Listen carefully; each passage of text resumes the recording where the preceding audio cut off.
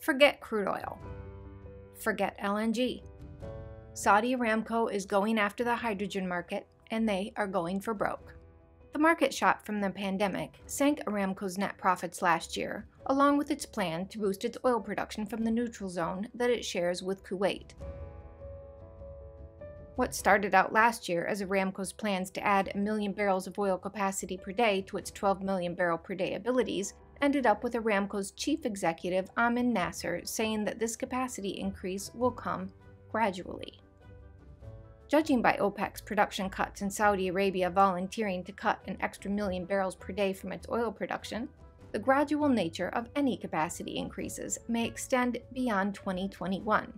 Aramco also seems to be moving on from its shocking announcement last year that it planned to spend $110 billion over the next couple of years to develop the Jafurah gas field's hundreds of trillions of cubic feet of gas to convert it to LNG.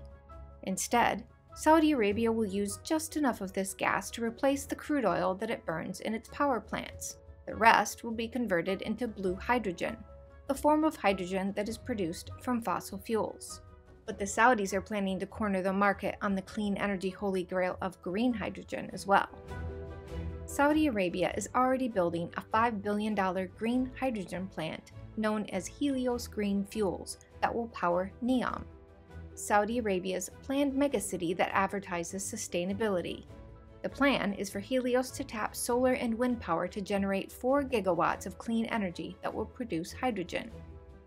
The kingdom is a natural fit for green hydrogen, which needs space, sunshine, and wind to create the clean energy. Some even say Helios could eventually produce hydrogen that's cheaper than oil at $1.50 per kilogram by 2030. The average cost of green hydrogen is $5 per kilogram.